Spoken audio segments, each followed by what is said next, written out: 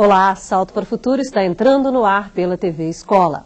Densidade demográfica, hidrografia, diversidade de relevos e de climas. Esses são alguns dos assuntos presentes nos mapas temáticos, utilizados e discutidos em sala de aula. Mas como o professor deve auxiliar os alunos na leitura desses mapas? É o que vamos abordar no programa de hoje, que também vai discutir diferentes concepções de representação do espaço, como, por exemplo, a dos índios Guarani-Mibiá. Convidamos para o debate a professora da Fundação Comunitária de Ensino Superior de Itabira, em Minas Gerais, Janine Gisele Lessan.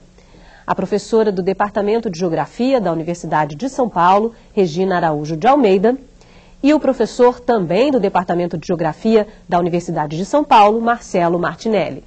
Veja agora como você também pode participar do programa. Na região de Paraty, no litoral sul do estado do Rio de Janeiro, 36 famílias indígenas vivem numa aldeia.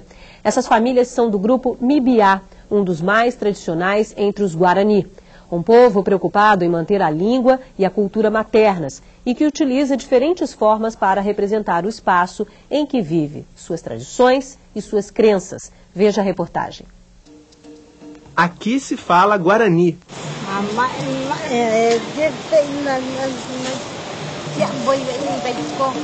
Aqui, o sustento vem da palha trançada em forma de arte. Os chocalhos e balaios produzidos na aldeia trazem a marca da cultura guarani e seus desenhos geométricos representam, de certo modo, o espaço em que vive a comunidade indígena. Há uma representação espacial não figurativa, tradicional, de natureza geométrica, né, que se coloca principalmente dentro do que a gente pode chamar, grosso modo, de artesanato. E através de, desses trabalhos, as mulheres também lhe ensinam as crianças também a fazer a, a, a cesto, balaio.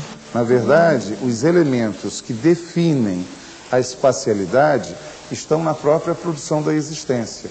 Quem define o espaço são os animais, que eles caçam. Quem define o seu espaço são as árvores que os sustentam. Um tipo de espiga de milho, por exemplo, é uma das referências do espaço e da cultura guarani. Ela não dá alta, ela chama de é milho criança, eles chamam de milho criança, porque ela dá baixinha. Tem o milho tradicional, aquele milho é dos Guarani mesmo, do Imbuiá, que nem da gente. E você pode andar em vários lugares, você não encontra esse milho não. O professor Armando faz parte da equipe de um projeto sobre a memória e a temporalidade. O projeto, desenvolvido por um grupo que reúne universidades e outras instituições, tem como um de seus objetivos a valorização da memória e da cultura guarani. Um dos materiais produzidos nesse projeto é o livro Guarani, utilizado na escola da aldeia. Escola que tem um importante papel na preservação da cultura. Formar forte liderança, esse jovem hoje é, valorizar mais sua própria cultura, e está se defendendo, né? É, realizar algum, algum trabalho dentro da própria comunidade. No livro Guarani existem representações de diferentes espaços e crenças. Uma delas é o caminho de Nhanderu.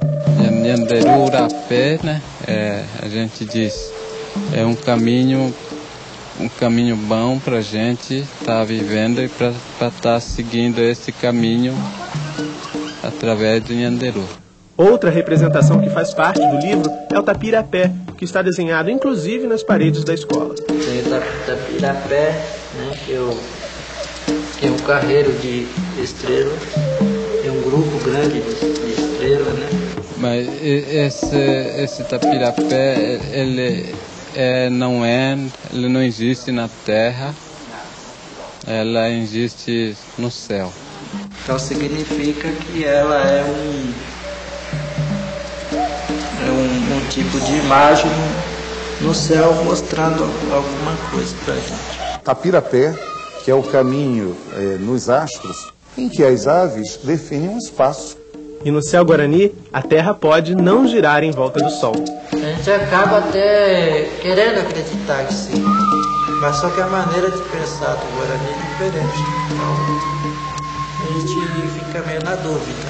Mas eu acho que o pajé acho que representou bem o papel dele nessa parte, porque ninguém é Deus, né? Para dizer como é que é o mundo.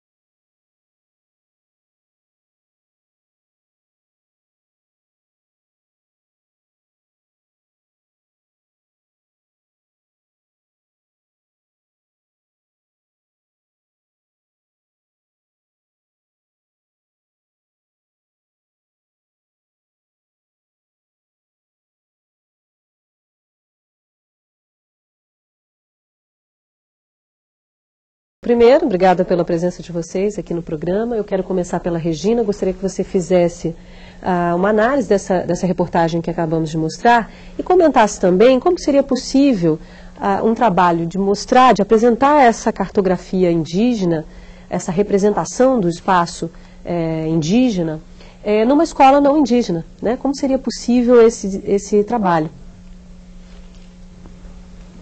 Eu achei muito interessante porque realmente eu acredito que nós temos que pensar nas várias cartografias, nas novas cartografias. Nós pensamos mais, na, por exemplo, nos mapas na forma digital, quem sabe aí no espaço virtual da internet, por exemplo, e às vezes nós esquecemos das outras dimensões, por exemplo, essa cultural. Então eu acho que a, a cartografia, as representações espaciais que estão na escola indígena, inclusive trazida por professores bilíngues, elas são exemplos é, dessas novas abordagens. Então, essa convivência de várias cartografias eu acho extremamente importante. Tanto na escola indígena, porque eles trabalham um mapa convencional, também porque eles têm que cuidar da sua terra indígena, das suas fronteiras, defender a sua terra, assim como uma outra cartografia, porque eu acho que a, a, os professores indígenas e as populações indígenas, na verdade, eles conseguem é, viver, conviver com vários mundos e, portanto, representá-los. Então, a, desde o mundo físico, social, até o, é, o mundo espiritual e mítico. Então, nós vimos justamente isso. Eu acho que é uma riqueza levar essa outra abordagem, essa outra concepção, inclusive de valorização da cultura e de um resgate, às vezes, da, da identidade de cada povo para a escola não indígena. Eu acho que essa troca é muito salutar. Obrigada. Janine, o seu destaque para esse primeiro momento do, bloco, do, do programa. Bom, gostaria de enfatizar que o nosso tema hoje é a linguagem dos mapas e que essa linguagem é, é muito importante ser dominada na escola, é, tendo em vista a presença, sua presença, né, a presença da cartografia temática na escola, ou seja, das representações dos temas de geografia na escola. É, como são presentes esses temas? Através dos mapas murais, que toda escola quase tem, livros didáticos, atlas escolares. É, é uma linguagem própria da geografia, sobretudo da geografia. É, são representações que são é feita por meio de diversos é, instrumentos, tais como é, croquis, mapas, diagramas, que a gente chama também de é, gráficos. O que é importante é, na escola, inclusive da primeira série ao pré-vestibular, é que o aluno domina o, as competências para saber ler, analisar e interpretar um documento gráfico, né, qualquer que seja. Então é isso que nós vamos discutir hoje nesse programa. Tá certo. Professor Marcelo, seu destaque para esse primeiro momento do programa. Bem, eu gostaria de falar o seguinte, é, lembrar bem que toda a cultura, é, nos primórdios de sua existência, teve eh, expressão na representação do seu grupo é, e do seu espaço, é, em algum suporte o suporte esse que pode ter ficado até nossos dias, ou um suporte que tenha se esvanecido com o tempo, tenha estragado com o tempo, ou é, é, montado com estruturas diversas, varetas ou coisas. E o que nós vimos aí com o índio também, eles também mostram, mesmo, vamos supor, no momento que ainda eles não estivessem aculturados pela nossa introdução da cultura ocidental dentro da, da cultura deles, já eles mostram dele próprio, deles, já uma representação, mesmo que fosse um espaço etéreo, já deu para ver na, no, no, arranjo que eles colocaram na sua representação, que dá, dá a impressão que o mundo, a concepção de mundo deles é uma concepção de mundo circular o que vem muito de encontro com culturas antigas e com a representação do mundo ah, na época medieval. Tá certo. A gente já tem uma participação agora uh, no programa, essa primeira do programa de hoje é da Edileuza do Tocantins. Oi, Edileuza. Boa noite, Bárbara. Boa noite, especialistas. Eu sou Edileuza Lopes, orientadora do teleposto da Escola Estadual Professor João Alves Batista, Araguaína, Tocantins. O questionamento é da cursista universitária do curso de Geografia da Unitins, Valdileia Garcia. Desde as séries iniciais, os alunos podem ter contato com diferentes tipos de mapas. Esse contato, porém, não deve ser casual. Em seu planejamento, o professor pode elaborar atividades que privilegiam dois eixos de trabalho: o da produção e o da leitura de mapas. Baseada nessa afirmação, eu pergunto: há necessidade dos alunos aprenderem primeiro a produzir mapas para depois aprender a ler e consultar? Boa noite e muito obrigada. Obrigada a você, Edileuza, que tem estado com a gente todos os dias aqui nessa série. É claro que a gente sempre conta com você. Amanhã eu quero te ouvir e na sexta-feira também, tá bom? Uh, Janine. Sim, é, acredito que essa, esse problema de saber se o aluno deve aprender a fazer antes de aprender a ler foi é, discutido um pouquinho nos programas da, no início da semana também. É, acredito que é, a, a, representação a, por meio de mapas deve passar por, primeiro por uma representação do espaço próximo, conhecido, que tem um significado para é, a criança, na sua vivência do cotidiano. Então, é, muitas vezes a gente trabalha, inclusive, a partir de pré-mapa, que seriam fotografias fotografias até de paisagens normais, né? Para a criança tomar consciência de, dos objetos da paisagem e que esses objetos podem ser representados. Representados de diversas maneiras, então tem um, um etapas né, na, no desenvolvimento do desenho, do desenho frontal até o desenho oblíquo, até o desenho feito visto de cima, né? E é, essa passagem da percepção do real, a sua representação e a sua codificação com certeza facilita depois a leitura do aluno é, para ler qualquer outro tipo de mapa. Quer dizer, o que é mais importante é a codificação no mapa. Então, ela tem que entender o significado desse processo. Não tem a, pro, a produção primeiro, não vem a leitura depois da produção. Isso vai depender de em que... É feito simultaneamente uhum. de preferência. Tá certo. Dercilene aqui do Rio de Janeiro, olá. Boa noite. Eu sou Dercilene, orientadora de aprendizagem do, do Teleposto do Instituto de Educação Sara Kubitschek e gostaria de fazer a seguinte pergunta.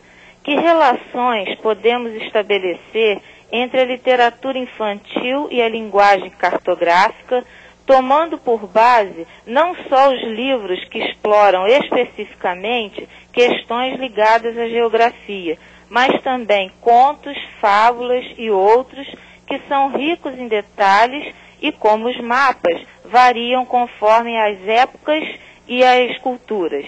Obrigada. Obrigada a você, Dercilene, por essa participação e é claro que eu espero ouvir você mais vezes aqui, tá bom?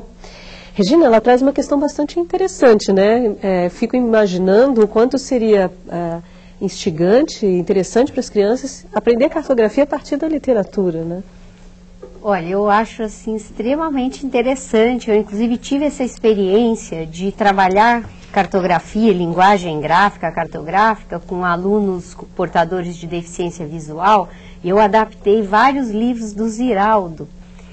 É, e eu assim com resultados muito interessantes. Eu acho que a criança já tem essa identificação com a literatura infantil, no caso, e usar essa literatura para você trabalhar a linguagem dos mapas é muito interessante. Principalmente porque tem uma produção de ilustração é, uhum. que contribui para essa, essa discussão, né? É. A gente tem uma pergunta aqui da Tânia Colodete. Obrigada, Tânia, pela sua participação. Ah, e ela faz a seguinte pergunta: Como trabalhar com a linguagem dos mapas para além da sala de aula? O trabalho de campo com os alunos é aconselhável? Que estratégias utilizar para garantir um bom ensino, professor Marcelo? Pois é, eu vou é, citar um exemplo bastante simples para ensinar as regras básicas da linguagem dos mapas. Vamos supor o exemplo que a gente quer ensinar para uma criança, evidentemente, já num determinado momento da sua evolução mental, isso precisa tomar muito cuidado. Vamos, vamos dizer da quinta série em diante do, do ensino fundamental, queira se ensinar o mapa da representação do relevo, aquele tradicional mapa ipsométrico, aquele mapa do relevo que apresenta várias faixas coloridas com um degradê assim para representar a altitude do relevo. Muito bem, para que a criança possa entender de forma clara, evidente, é, é, a construção desse mapa, dessa representação, que é bastante abstrata, bastante complexa para ela entender, é, leva-se a criança ao campo, num lugar que ela tenha que subir uma montanha, ou um pequeno relevo, ou um pequeno barranco. Então ela vai vendo é, pela experiência própria, quer dizer, conforme ela vai subindo a montanha, a altitude vai aumentando. Então, ela vai ter que transcrever na linguagem visual essa relação entre as faixas de altitude. A relação entre as faixas de altitudes vão num crescendo, portanto, numa ordem. A transcrição gráfica deve ser feita por uma ordem visual, do claro para o escuro. Nunca mais ela vai esquecer. Tá certo. A gente tem a participação agora do Luciano, do Tocantins. Oi, Luciano, estava sentindo a sua falta. Boa noite a todos. A participação é do teleposto da Escola Estadual Joaquim Francisco de Azevedo, em Taipas do Tocantins. Pergunta aos componentes da mesa como trabalhar com os mapas temáticos diante das constantes mudanças nos diversos setores do conhecimento geográfico e das dificuldades de obtermos dados atualizados. Boa noite e obrigado. Luciano, muito obrigada pela sua participação, viu? Gosto de ouvir você Quero ouvir você mais vezes, ok? Ah, Janine? Sim. É, como trabalhar com as mudanças? É, é, claro que é bastante difícil ter dados atualizados, né? Mas é, regularmente tem publicação de é, edições novas de atlas, de livros didáticos e é, atualmente os autores têm todo o cuidado em atualizar os seus dados. Talvez o mais importante, inclusive, não é tanto trabalhar com o dado mais atual possível, mas fazer um trabalho de comparação com dados mais antigos, mais recentes, para entender os conceitos básicos da geografia, porque um dos objetivos do, do estudo da geografia não é, é simplesmente saber ter as informações mais atualizadas do número de população, é mais entender os conceitos geográficos. E a leitura dos mapas, a leitura dos documentos gráficos possibilita esse tipo de, de raciocínio. Então, na medida em que a cartografia temática é um instrumento para você entender a geografia, é, a comparação de documentos antigos, né, de várias épocas, que seja, por exemplo, diagrama em épocas diferentes, que seja mapas de população em épocas diferentes, vão levar o aluno a fazer um raciocínio e até, eventualmente, a pensar como que poderia vir a ser. Né? De repente, ele não ficar preocupado com essas mudanças, sim focar, o foco talvez seja mudar, seja ser, é, é, pensar nessas mudanças mesmo, de Entender repente discutir essas mudanças, discutir o porquê dessas mudanças, né, Exatamente. né, professora Janine? A gente tem uma pergunta agora da Nália Rodrigues, uh, de Silvanópolis, do Tocantins, e ela gostaria de saber como trabalhar mapas e a sua leitura de forma contextualizada e interdisciplinarmente. Regina. Um, eu acho que isso é muito possível. Na verdade, a linguagem dos mapas, ela pode ser extremamente assim um caminho para se conseguir a interdisciplinaridade na escola. E eu acho que, eh, eu vejo inclusive com os índios, com a, com a, escola indígena, eles não fazem essa separação que nós fazemos. Então, quando se trabalha a cartografia, por exemplo, eles já ligam com história, com a matemática, com a geografia. Então, eu acho que o mapa ele pode ser justamente um caminho para conseguir trabalhar ah, os vários conteúdos da escola a partir do mapa. Né? Então, história, por exemplo, tempo, espaço, é assim extremamente interessante. Como dizia já a professora Janice, uhum. ele vai discutir as mudanças de um determinado lugar, é. não tem como não discutir o processo uhum. histórico daquela região, o que, que aconteceu. Certeza. E isso é um processo interdisciplinar, né? Quer queira, quer não queira, vai se é. discutir. A literatura que nós Exatamente. tivemos aquela pergunta, eu acho que é outra forma de você trabalhar, então, os mapas através da, da, da literatura. Eu acho que isso, inclusive, traz para o aluno essa contextualização que, que é interessante na escola, na sala de aula. Tá certo. A Vanessa aqui do Rio de Janeiro já está aguardando. Oi, Vanessa. Boa noite. Sou a cursista Vanessa, do Instituto de Educação. Falo do teleposto CEPAC de São João de Meriti. Como um professor deve orientar uma criança a dar os seus primeiros passos para a cartografia, fazendo com que a criança entenda todos os dados da leitura cartográfica? Obrigada. Obrigada a você, Vanessa, por essa participação. E aí, professor Marcelo, o senhor há pouco já deu um exemplo, né? Que outras situações o senhor veria?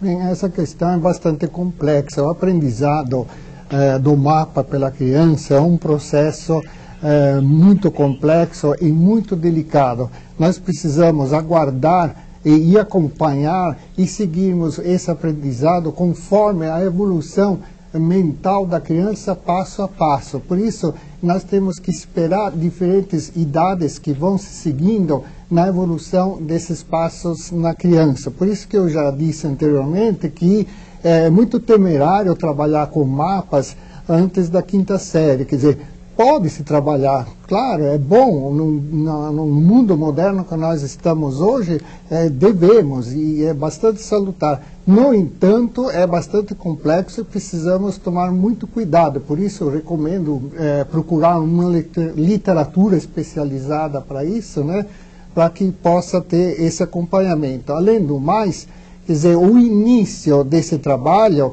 é, é o aprendizado do, da própria criança, quer dizer, do, do entender dela, da sua lateralidade, eh, das coisas em relação a ela, e o aprendizado do seu espaço, quer dizer, do seu espaço mais próximo, quer dizer, ao quarto onde ela está, onde ela dorme, depois a casa onde ela mora, depois a sala de aula, a escola, assim por diante, progressivamente tentando depois é, passar de, para a etapa da representação, que começa a ser complexa, porque além de termos que reduzir essa realidade dela para um tamanho bastante pequeno que caiba no papel, é, é, complexo que entra a noção de escala, que é bastante complexa. Nós temos que esperar o momento que a criança está na matemática aprendendo as frações ordinárias, tá porque é uma proporção.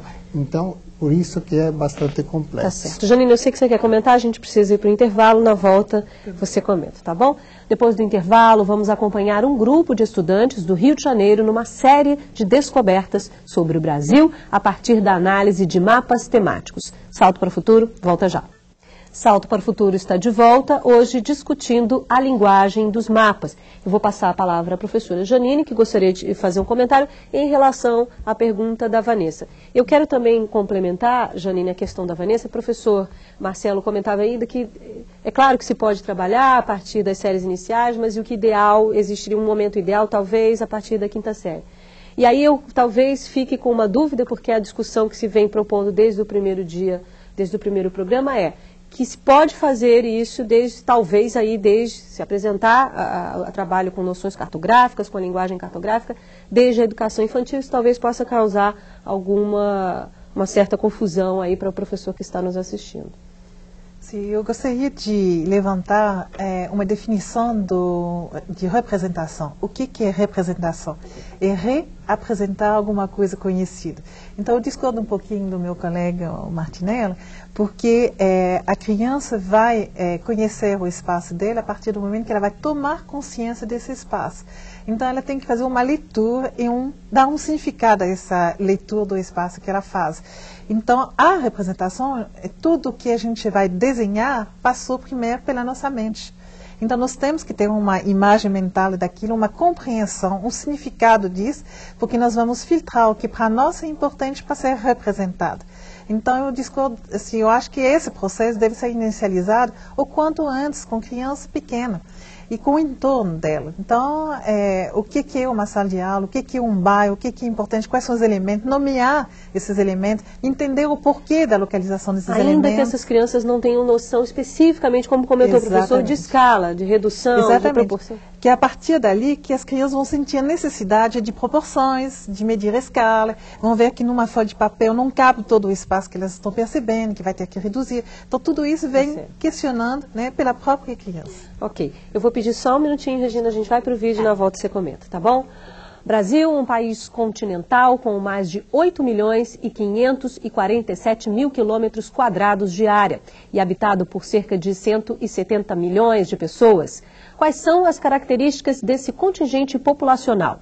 Para conhecer um pouco mais sobre o Brasil e sua população, um grupo de estudantes do Rio de Janeiro fez uma visita ao Centro de Difusão e Disseminação de Informação do IBGE. A partir da observação e desafiados por várias perguntas, eles perceberam que os mapas revelam muitas informações. Veja a reportagem.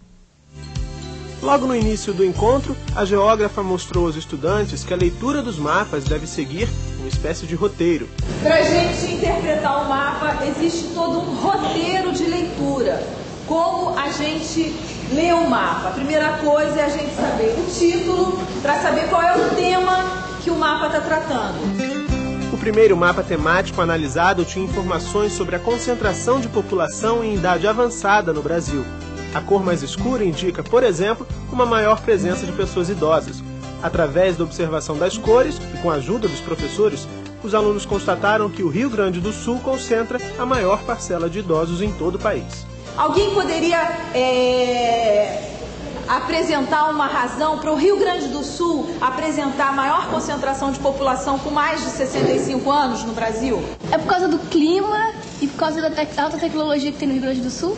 O reflexo dessa qualidade de vida é que uma parcela muito grande da população consegue chegar até uma idade muito avançada. No ano de 2000, 10,46% da população do Rio Grande do Sul estava acima dos 60 anos de idade, de acordo com dados do IBGE. A média nacional de habitantes idosos é menor, 8,56%. A densidade demográfica foi outro tema analisado pela geógrafa. O Brasil é o quinto país mais populoso do mundo e dois terços de toda a população, mais de 130 milhões de pessoas, vivem em centros urbanos. Vocês conseguem identificar quais são as áreas de maior concentração? Rio de Janeiro e São Paulo. Por que, que a região norte vai apresentar esse quadro mais esparso? Alguém poderia é, explicar por que, que a gente não consegue uma concentração tão grande de população na região norte? Por causa da floresta amazônica e do, da pouca eletricidade. A floresta amazônica foi um dos temas discutidos a partir de outro mapa. A ideia era debater a evolução da presença humana na região entre 1976 e 1991. E aos poucos, a discussão se voltou para outro importante tema da atualidade, o meio ambiente. Como é que o homem ocupa uma região de floresta? O que, que ele está fazendo? O que, que ele tem que fazer para ele poder criar o gado? O que, que ele tem que fazer para ele poder plantar? Com o desmatamento e as queimadas para construir moradias, agricultura e plantar. Aprender sobre temas importantes a partir da observação e da leitura de mapas agradou aos alunos. Olhei assim, a Amazônia é grande, pega toda a região norte, não. Pega um pouco da, da região centro-oeste e não é só árvores, plantas, tem mais coisas, tem cerrado e tem rios e a expansão do homem. Como é a regionalização do Brasil, a distribuição da população, o tamanho do Brasil pela escala. É, você pode observar regiões, né, localizações, a, onde tem mais, mais número de pessoas, mais número de produtos e tal. Você tem uma, como posso colocar, uma disponibilidade de recursos mais aprofundada nesse sentido. E os mapas temáticos não conquistaram só os estudantes. Eles exploram o tema dentro de, é, da cartografia. Então, aquele tema ele pode ser muito mais aprofundado do que no mapa que eles chamam de geral.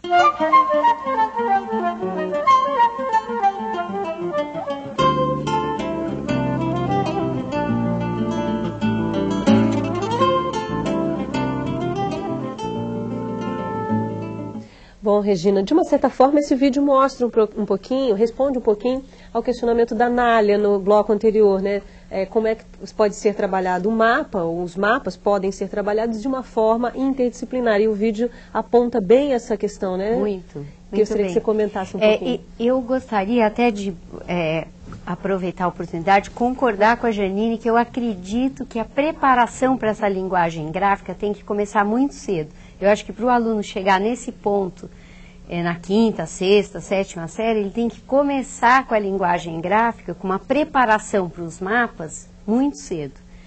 É, nas séries iniciais ou até antes. Né? Eu acho que aí sim ele vai chegar nessa, nessa fase e conseguir tirar dos mapas as informações e também cons conseguir construir esses mapas temáticos. Né? Eu acho essencial haver essa preparação à linguagem gráfica. O conceito de escala mesmo sem saber fração, você pode trabalhar a proporção que a criança já conhece. Ela trabalha, ela brinca com a boneca dela, que é uma, é uma, uma representação em escala do ser humano. Então, eu acho fundamental, inclusive, fazer essa contextualização dessas, dessa base, né, desses conceitos básicos, que vão depois ser necessários para esse mapa convencional.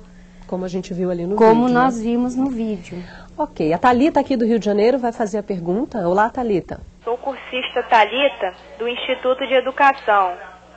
A minha pergunta é: por que os mapas pictóricos são mais adequados às crianças? O que as leva a entenderem melhor desta maneira? Obrigada, Talita, por essa participação no programa de hoje. Ah, professor Marcelo? Pois não.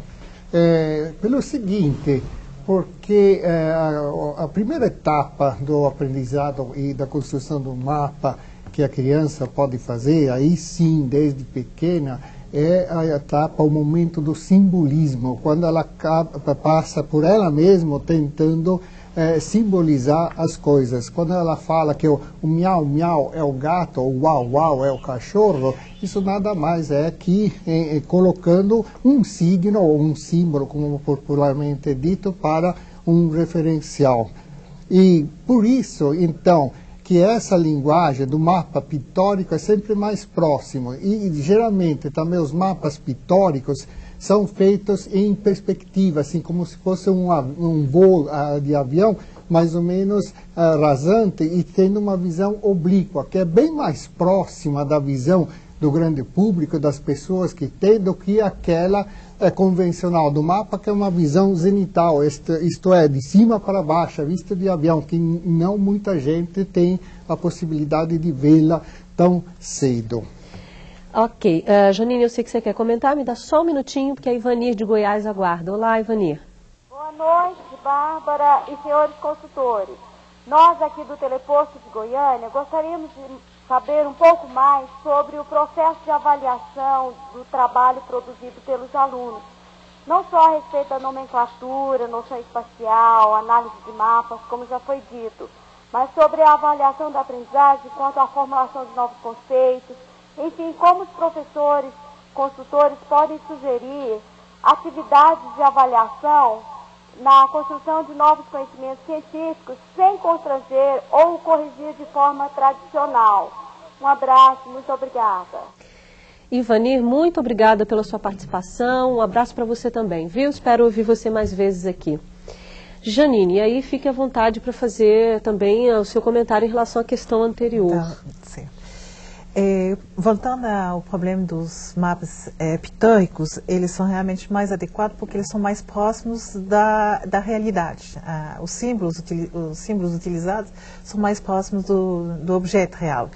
É, todavia, tem que trabalhar obrigatoriamente com a criança o significado do símbolo, porque nós percebemos, inclusive uma estudante de, de mestrado fez uma pesquisa aprofundada nesse sentido, que é, nem sempre o símbolo que foi utilizado pela pessoa que elaborou o mapa é reconhecido como tal pelo aluno. Nós tivemos o caso, por exemplo, de um ramo de café que alunos de uma zona é, urbana reconheceram como fruta e não como café. Então é essencial o professor fazer esse trabalho de leitura da legenda, de decodificação do significado para não haver erro de, de interpretação. Com relação ao processo de avaliação dos trabalhos dos alunos, é, é um, é um processo ao longo tempo, né? É, acredito que na medida em que o aluno vai é, melhorando as suas representações, eh, o professor pode eh, ter essa avaliação contínua. Não é assim, eu acho muito difícil dar uma nota para um mapa que foi mais ou menos elaborado. Por quê? Porque o mapa é o produto do estágio da representação da criança, da sua percepção e também da sua capacidade motor para fazer uma representação pictórica, né? Então, a avaliação nesse caso seria do que, que ele já é, quais são as relações que esse aluno já faz? Já faz e, e de onde ele partiu e onde ele chegou. Né?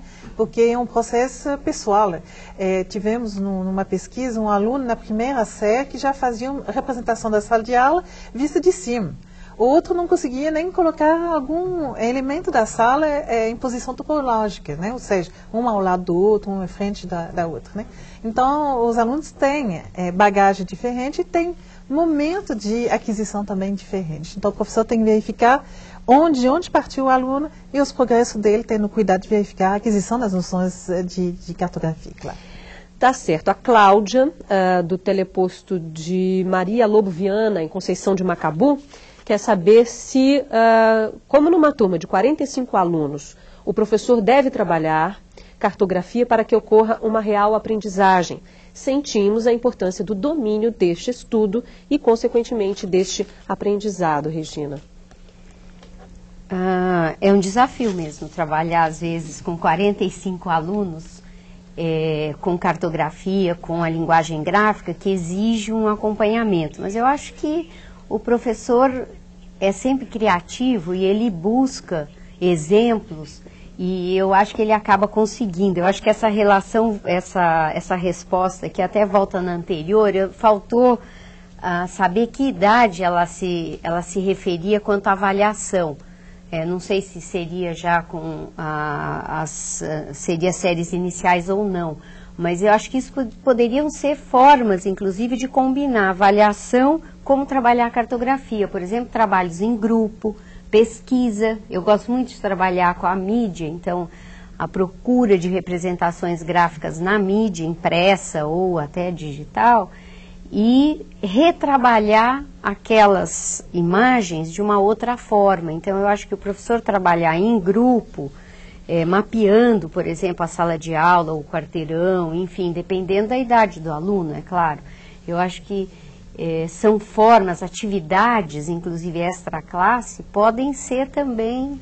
Fiquei imaginando é, que no caso da Cláudia, ouvindo você, não poderia discutir a quantidade de alunos por escola naquela determinada região, é. já que se o problema, se ela traz um problema de, de excesso, né, quantidade de muito, muitos alunos numa única sala, se esse não poderia ser um tema para ser discutido com os próprios alunos, né? Claro. Getúlio, do Tocantins. Oi, Getúlio. Boa noite, Bárbara. Boa noite, especialistas. Aqui é Getúlio Abreu Lima, orientador de aprendizagem é, do teleposto da Escola Paroquial Luiz Augusto, Araguaína, Tocantins. A pergunta do cursista é a seguinte. Sabemos que o desenho e a cartografia pode ser considerados no âmbito das linguagens geográficas, ou seja, gráficas, um recurso visual para leitura e interpretação.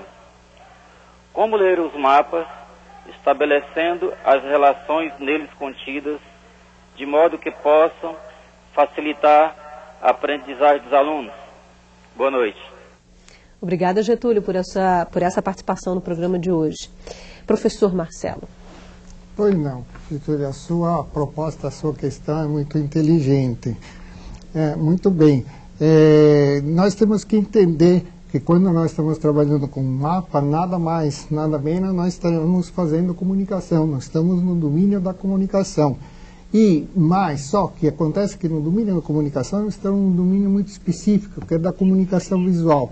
E nessa, num domínio mais específico ainda, que é da representação gráfica, que obedece uma linguagem, é uma linguagem do, do mapa. Portanto, se é uma linguagem do mapa, tem que ter a sua gramática. Então, o segredo todo está nisso, em entender as regras básicas da gramática. Portanto, nós temos que ter, primeiro, uma ideia, uma concepção de como nós entendemos a realidade. É, a realidade pode ser feita por relações de é, diversidade entre objetos. A realidade pode ser feita com uma ordenação entre os objetos, objetos geográficos, ou a realidade pode ser feita com uma relação de proporção. Portanto, você, na hora de fazer o mapa, tem que transcrever essas relações entre objetos de diferença, ordem e proporção por diferença, ordem e proporções visuais. Muito bem, isso quanto às regras básicas da gramática. O mapa pronto, depois você vai ler e extrair dele, através de uma leitura, uma análise e interpretação, é, primeiro verificando o título, o título que deve conter o assunto, o lugar e a data, e depois passar para a legenda. E tomando cuidado, não ficar apenas na legenda, naquela tarefa simplista de ver qual é a relação entre significante e significado. Muito bem, isso é essencial. Precisa primeiro decodificar o código, mas não ficar só nisso. Geralmente o professor para aí. Não, ver qual é a relação que existe entre os significados. Por exemplo, quando você vê um mapa do Brasil de tamanhos de bolinhas de, de, de vários tamanhos para mostrar a quantidade da população, você vai examinar não que tal estado tem tanta população, o outro estado tem tanta população. Sim, tudo bem, é o básico, mas não basta. Okay. Mas verificar a relação de proporção que existe. Por exemplo, a população do estado de São Paulo, quantas vezes maior é da população do Tocantins. Ok, Simone, do Tocantins, já está aguardando a gente. Oi, Simone. O questionamento dos nossos telecorsistas é o seguinte. É possível traçar mapas a partir de textos literários, como é o caso do percurso realizado pelo personagem Silas Fogg em A Volta ao Mundo em 80 Dias, de Júlio Verne, qual a consideração que os especialistas fazem sobre essa possibilidade? Boa noite a todos. Simone, muito obrigada pela sua participação no programa de hoje. Espero ouvir você mais vezes aqui no Salto, tá bom? Janine? Sim, Simone. É, eu acho que a gente retoma é, um pouquinho a a motivação para o aluno ter interesse nos mapas. Se a partir da leitura de um texto, um texto literário, um texto de qualquer natureza, o aluno sente a necessidade de localizar, de entender, por exemplo, um trajeto né, é, na superfície da Terra efetuado por, por uma personagem de um livro, é muito bem-vinda o uso do Atlas, né? O uso do Atlas, o uso de, de até de, de mapa rodoviário, né? Para tentar entender. É, isso eu acho que faz parte da motivação. É mais uma, é, uma coisa muito importante para o aluno ter é, incentivo para utilizar os mapas e saber conhecer os mapas. Então, recomendo muito, inclusive. Né? Faz parte da multidisciplinaridade, inclusive. Né? Ok. Rosimere aqui do Rio de Janeiro. Oi, Rosimere. Boa noite. Sou supervisora do teleposto Polo de Maricá. Segundo o texto, os mapas para crianças são apresentados com símbolos que lembram os objetos reais representados.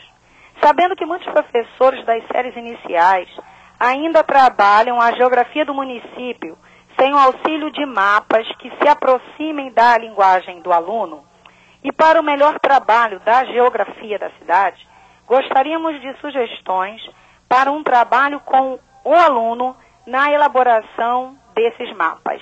Obrigada. Obrigada a você, Rosemary, por mais essa participação nessa série. Regina. Eu queria só voltar na outra pergunta claro. para lembrar que a cartografia ela não é só, os mapas não são só linguagem é, visual. Né? Eu acho que o, a linguagem tátil, você transformar o mapa, que é uma imagem visual em tátil, é muito interessante. Então eu acho que fica aqui esse, esse comentário. E sobre a pergunta anterior, a questão de você mapear o imaginário, que eu acho que não só usar a literatura para trazer os mapas convencionais, mas também trabalhar o imaginário. E com relação à pergunta da Rosemary, eu acho que é muito interessante trabalhar os, esses, já foi falado aqui do mapa pictórico, né, e dos símbolos. Eu acho que na questão municipal, eu também tenho um aluno Janine, que fez uma pesquisa é, com símbolos pictóricos no município. E ele trabalhou com o visitante com o morador do município. Ele discutiu, inclusive, que símbolos faziam sentido para o morador.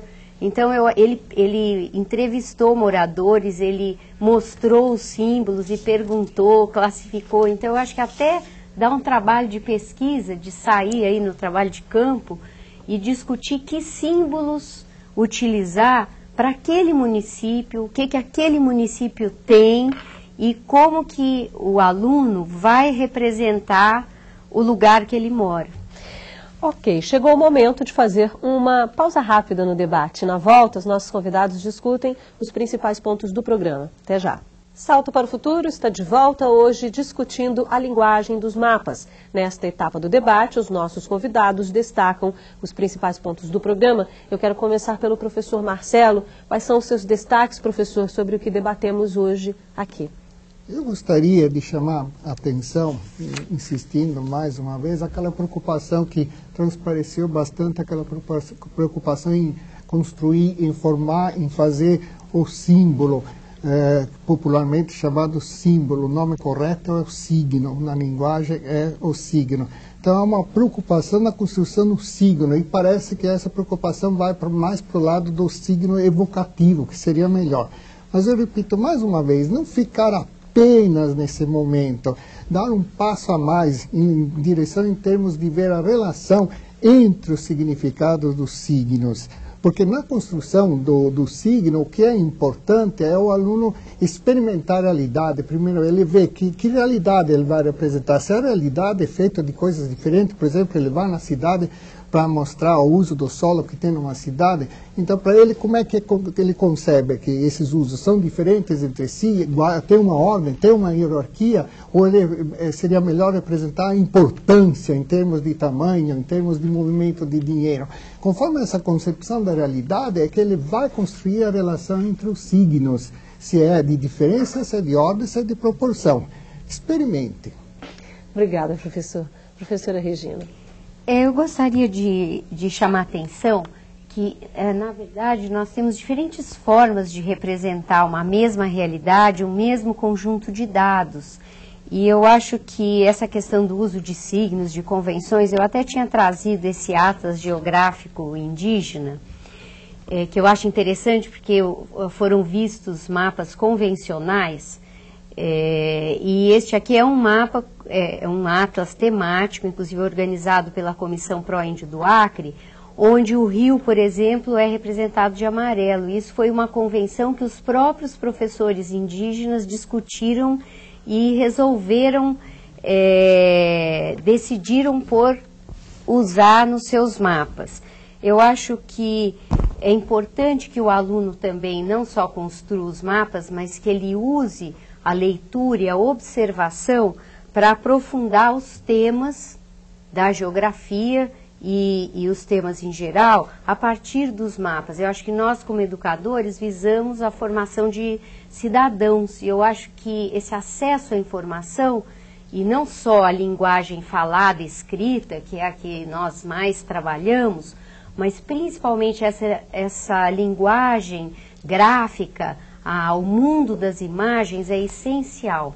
Então eu acho que isso é uma forma também de garantir essa, inclusive trabalhando a inclusão e as diferenças. Né? Então nós vimos aqui a escola indígena, eu comentei, por exemplo, das, dos alunos portadores de deficiência visual. Então eu acho que isso é uma forma de é, atingir aquilo que nós queremos como educadores e que o professor também busca na escola. Ok, obrigada, Regina. Janine. Sim, eu gostaria de enfatizar que é, talvez a, que seja mais importante que o processo de alfabetização cartográfica é um processo contínuo. E a linguagem é, é uma linguagem que deve ser utilizada do início ao fim, quer dizer, todo mundo é alfabetizado em português, utiliza o português dessa primeira série até o resto da vida. Por que, que a cartografia devia ser estudada apenas no início da quinta série, é uma linguagem própria da geografia? Então, ela deve permear o trabalho com a geografia o tempo todo da vida escolar do aluno. E para isso é muito importante, inclusive, evitar repetir atividades. Então, para isso, recomendo uma coisa. Na sua escola, com seus colegas, inclusive da primeira série até o segundo grau, procure se reunir, verificar como são trabalhados os conceitos básicos da cartografia e verificar se as atividades em cada série são realmente adaptadas ao nível de conhecimento do aluno, se eles têm um crescimento do simples ao complexo. Porque muitas vezes a gente verifica, conversando com professores, que a mesma atividade é repetida. Por exemplo, de primeira a quarta é comum a gente ter é, uma maquete da sala de aula repetida quatro vezes. Então, o aluno não suporta mais isso com razão, né? Então, é, recomendo muito dialogar com os colegas, não ter medo de conversar um, pessoal, um professor de primeira série com um professor de segundo grau, porque não, cada um tem a sua vivência, cada um tem a sua bagagem, a sua percepção dos alunos, porque o professor de segundo grau, ele sabe muito bem criticar o que está faltando no seu aluno, mas ele, raramente ele vai lá conversar com seus colegas de primeiro, né, no ensino fundamental, para tentar ajudá-lo nesse sentido. Então, é, eu acho que basicamente esse é o recado que eu gostaria de dar, quer dizer, a cartografia uma linguagem, ela deve ser presente sempre, sempre devagar do simples ao complexo. Salto para o futuro de hoje fica por aqui. Eu quero agradecer as participações da Janine Gisele Lessan, professora da Fundação Comunitária de Ensino Superior de Itabira, em Minas Gerais da Regina Araújo de Almeida, professora do Departamento de Geografia da Universidade de São Paulo, e do professor Marcelo Martinelli, também do Departamento de Geografia da Universidade de São Paulo. No próximo programa, vamos discutir o trabalho com os atlas escolares. Você não pode perder. Até lá!